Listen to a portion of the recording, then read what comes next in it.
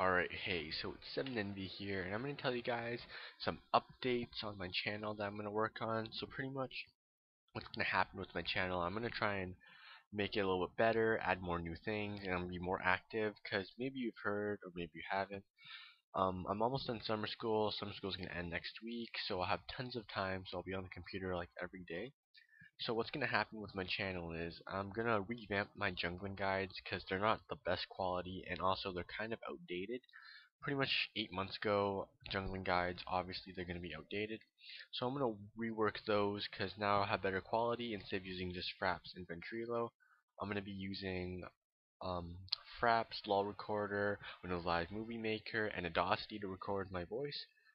And also, I'm also working on a montage. Well, actually, I'm almost done my montage. I just have a little gimmicks and things to play around with and just fix it up, and then it'll be ready to go. So that will be released at around the beginning of season two.